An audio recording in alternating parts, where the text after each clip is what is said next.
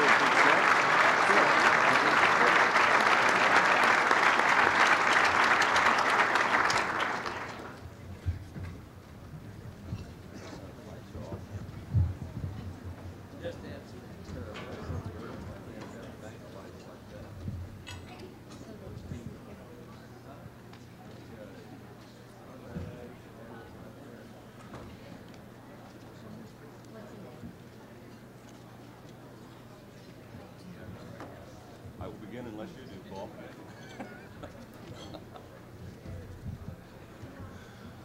Good evening, ladies and gentlemen. I'm Paul Weyrich, the National Chairman of the Free Congress Political Action Committee and Committee for Effective State Government, sponsors of tonight's event. It is my pleasure to welcome each and every one of you to this wonderful occasion and to introduce our Master of Ceremonies, Senator Bill Armstrong of Colorado. Thank you, Paul. Thank you, Paul, and thank you, friends. Paul, uh, over the years, you've done so much for the conservative movement that it is beyond our recounting. And tonight, we are all especially grateful to you for inviting us to this Laxalt family reunion. Thank you for inviting us to come.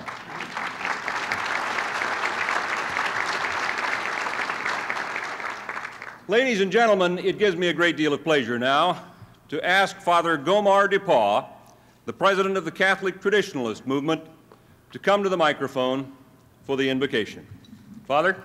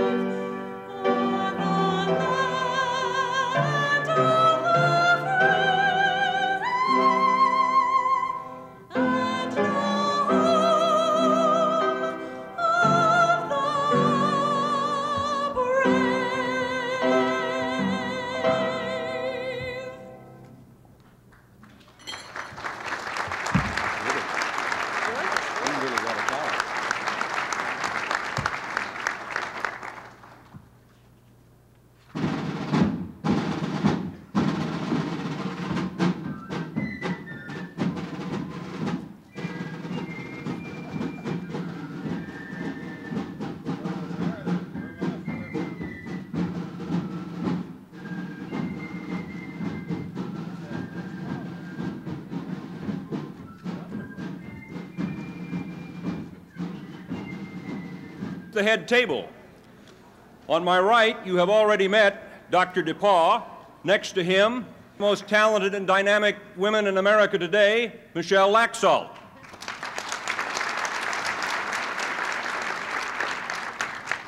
On Michelle's left is the chairman of the Republican, who is accompanied tonight by Paul Weyrich. Joyce and Paul.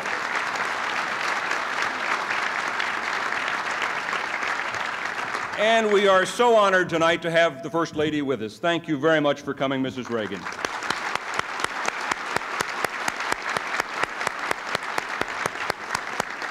And on my immediate right, the wife of our guest of honor, Carol Laxalt. Carol?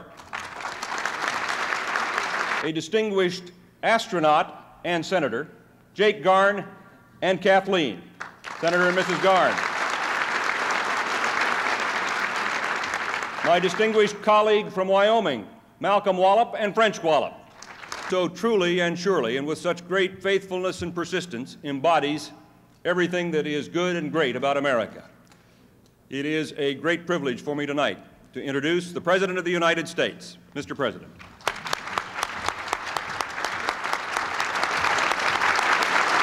Thank you for coming to do this tonight. Thank you very much.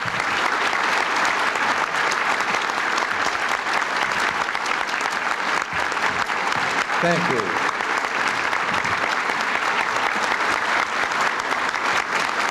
Thank you very much.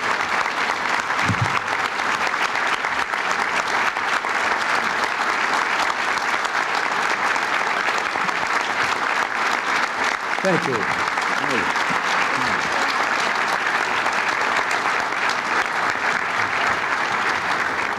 Thank you, Senator Armstrong.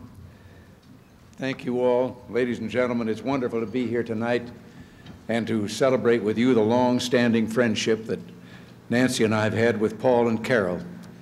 As most of you know, Paul and I were elected governors of our respective states at about the same time, so you can see we started even. I had California and one of the biggest economies in the nation. and Paul had Nevada and Howard Hughes. But you know, even in those early days, I knew that Paul and I would be close. We had a lot in common. Lake Tahoe, for example. There were those who said a straight shooter like Paul could never make it in Washington. But sure enough, Paul disposed of problems here just as easily as he disposed of them in Nevada because he had the best possible training for Washington. He was a rancher and a herder, and they have exactly the same sort of disposal problems in that business that we have in politics.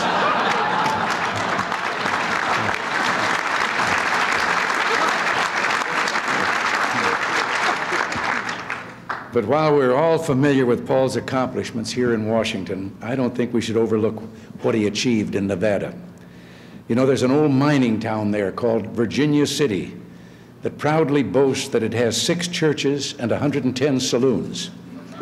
Paul changed all that.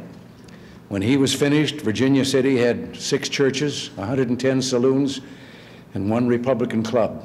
And, well, Paul, Senator, I hope you'll forgive me for having a little fun here tonight.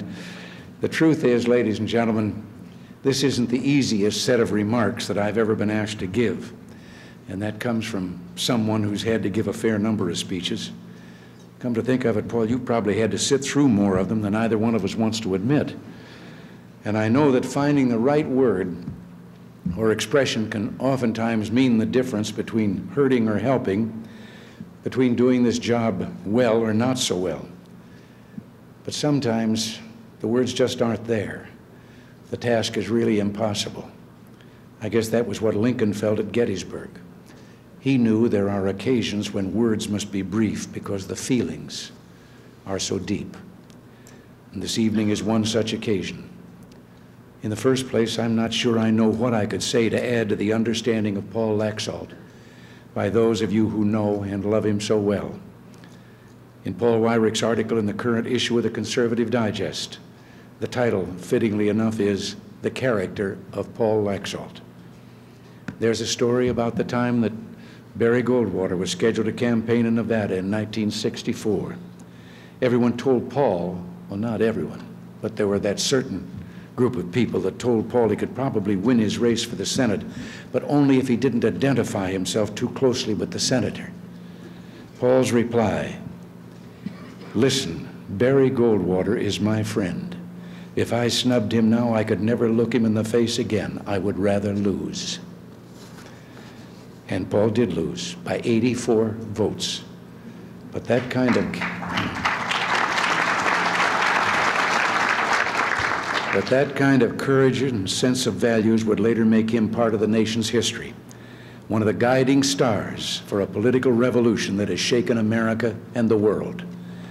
All of you know, too, the story of Paul's family. Perhaps some of you have seen the book written about his father by one of his brothers, Sweet Promised Land. There's a wonderful picture of the elder Laxalt on the cover. He's looking out across the Sierra Nevada. Seeing him in a moment's pause on some high ridge, Robert Laxalt wrote, with the wind tearing at his wild thickness of iron gray hair and flattening his clothes to his lean frame, you could understand why this was what he was meant to be. Well, seeing Paul as I have, calm in crisis, resolute in duty, warm in friendship, I also knew why this was what he was meant to be that he too had a destiny, a destiny to be a great leader of our nation and one of the foremost Americans of our time or of any time. I remember back in 76, Paul was a minority of one among the Republican governors, and he gave the first of his three speeches nominating me for president. Come to think of it, Senator, I've had to sit through a few of your speeches too. Anyway, recently he gathered those speeches in a little book. After his last one in 1984, Paul notes Back at the hotel that same evening, a man with tears in his eyes shook my hand and said simply, Great speech, Paul. The road to this had been a long one, beset by reverses and heartbreaks, and finally crowned with victory. My friend's words made all the travails worthwhile. He said, and then he adds in that little book, the man shaking my hand was President Ronald Reagan. Well, you bet it was, and again tonight, those tears aren't very far away. The friend who understands you creates you, a wise man once said. Paul created because he always understood, and for that I am and shall always be grateful. But I'm humbled, too, knowing that so often he chose to give of himself for Nancy, for me, and always for America, his sweet promised land. So, yes, I owe a great deal to Paul Laxalt. But how really does that make me any different from everyone else in this room and every other man, woman, and child who enjoys the blessing of freedom in this wonderful country tonight? There's another story Paul tells in his little book.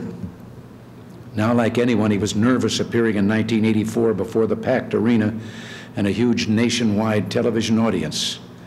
But he says, that feeling quickly disappeared when I looked down from the podium and saw the Nevada state flag with the words Battle Born inscribed upon it. Well, that's his story, his state's story, but our story too, and especially our century's story. Had the times been more tranquil, many of us would have preferred some other career, perhaps, or at least a little more leisure time. I know Paul would have made a lot more trips to a place called Marletta in the Sierra Nevada. But history did hit us with a freight train, and we were battle born. The events of our century, world wars and totalitarian governments, so momentous, so rife with human suffering, so gravely threatened our shining city on a hill, our sweet promised land, so we could not shirk nor deny the duty that we saw before us. And tonight, we thank God that we saw our duty and did it, and that our efforts have been rewarded with not just a glimmer, but a glow of light as this dark century comes to its close. And to the scholars who someday will seek the origin of that sudden brilliance, that sudden outburst of freedom's light in the closing decades of the 20th century, one we pray God will continue to grow brighter I say to them, Look to the son of the high mountains and the peasant herders, the son of the Sierra and the immigrant Basque family. Look to a man, to a friend, to an American who gave of himself so that others might live in freedom, so that his country and his father's country might always be a light unto the nations, a shining city on a hill in that sweet promised land. Paul Laxalt is more than deserving of the honor we do him tonight. We bring honor on ourselves for recognizing that fact. He is truly a man for all seasons, and he's our friend, our good friend. God bless him.